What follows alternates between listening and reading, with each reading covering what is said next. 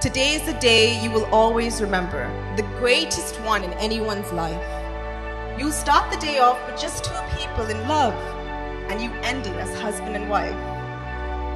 It's a brand new beginning, the start of a journey, with moments to cherish and treasure. And although there'll be times when you both disagree, they'll surely be outweighed by the pleasure of love.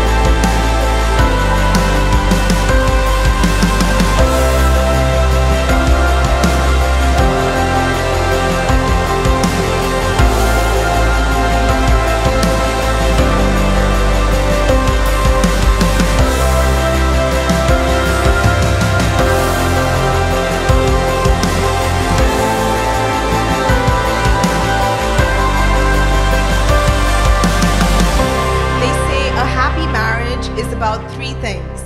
Memories of togetherness, forgiveness of mistakes, and a promise to never give up on each other